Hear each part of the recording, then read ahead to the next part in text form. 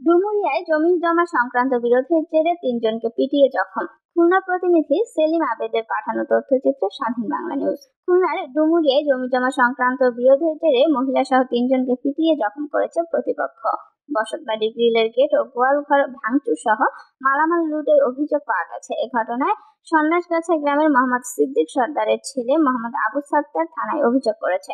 প্রাপ্ত অভিযোগ সূত্রে জানা যায়, বাদী আবু সাত্তারের দাদা মৃত তমেজ উদ্দিনের সন্ন্যাসগাছা মৌজায় ছেষট্টি শতাংশ জমি আছে। গত আট বারো তেইশ তারিখে একই গ্রামের বিবাদী মনসুর সর্দার গফফার সর্দার, জিয়া সর্দার, জামাল সর্দার ও শাহজাহান শেখ তাদের ভোগ দখলি অনাধিকার প্রবেশ করে জোর পূর্বক বিভিন্ন প্রজাতির গাছ কেটে নিয়ে যায়। এরপর গত তেইশে তিন চব্বিশ তারিখে বিবাদীরা একই ঘটনার পুনরাবৃত্তি ঘটায়। এ ঘটনায় বাদীর পিতা সিদ্দিক সর্দার, বড় ভাবি শম্পা বেগম ও স্ত্রী সুরাইয়া বেগম এভাবে জোরপূর্বক গাছ কাটার কারণ জানতে চাইলে তাদেরকে পিটিয়ে জখম করা হয়। এতেও তারা ক্ষান্ত না হয়ে গফফার সর্দারের উস্কানিতে তাদের বসত বাড়িতে অনাধিকার প্রবেশ করে বসত বাড়ির গ্রিলের গেট ও গোয়ালঘর ভাঙচুর লুটপাট করে।